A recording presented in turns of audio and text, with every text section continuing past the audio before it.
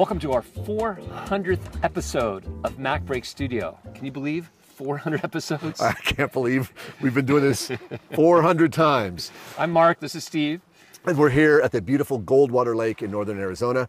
We wanted to get out of the studio, out of the green screen studio. Actually, this is a green green studio. An amazing green screen. Yeah, this the background is fantastic that we're putting here. But uh, we're here and we're excited about all the episodes we've done, and we've got a, a great tip to show you today. Sure do.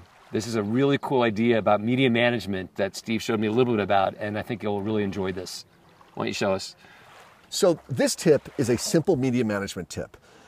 In this example, let's say you unintentionally imported all the media into the library, what Final Cut Pro 10 calls a managed library. Which, if you create a new library, it will be by default.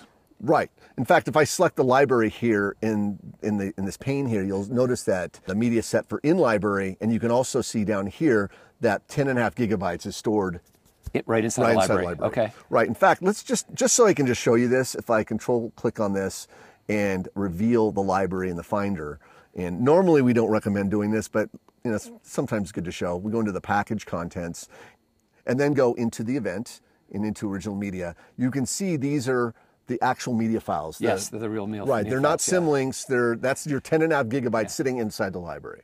And when you go in it like this, you can look but don't touch. Don't touch, exactly.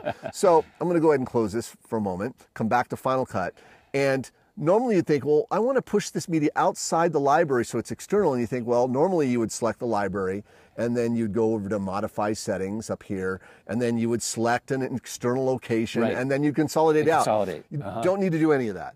Okay. Don't need to do any of it. What? Yeah, what? Check it out. So I'm going to select the library. I'm going to go File. And I'm going to choose Relink Files. Okay. Okay. Now, by default, the Relink Files window will show you, well, in this case, it normally shows you you're missing. Missing. Which right. there is nothing There's missing. nothing missing, but you can choose all, uh-huh. and you're essentially saying, I want to see, I want to relink to all the online media. So I'm, going to relink to some other set of files. They're all That's there, right. they're all links, but I want to go somewhere else. Correct. Okay. So what I want to do is click Locate All, and I want to navigate to where those original files are. That you imported That I from. imported okay. from. And okay. here they are. It's a folder I created called St. Croix Clips. Okay. Okay. And I'm just going to click Choose. And instantly, Final Cut recognizes the original files and the match files and puts them down below. Okay, so now Final Cut's pointing to those files that are outside the library, but you still have all the files inside the library. Inside the library. Now check it out. Watch. Relink files. Okay, what just happened? Check it out. I'm going to go back to the library so you can see this. Reveal in Finder. I'm going to go back into the library bundle, show package contents, go into the event, go into the original media, and I want you to see this.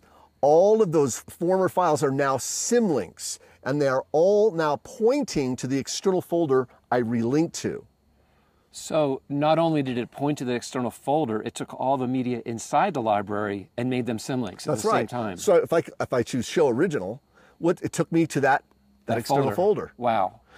So now if you select a library in Cut Pro in the library inspector, at the bottom, the size shouldn't be 10 gigabytes anymore? It, it, still should be 10 gigabytes because it's on the same hard drive. I see, but of course, but of it's course. Now, but, but the library itself is now very small. Very small now. It's a small library okay. because now it's just symlinks. Got it. Wow. That's very cool. We should really get out of the studio more often. Uh, absolutely. Nothing like being out in nature and, you know, with a computer. Although you're very brave to take your brand new computer out here and do this, you know. Is that an eagle?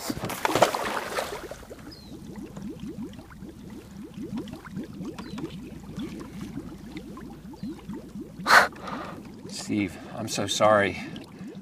I ruined your computer. It wasn't my computer, it was yours.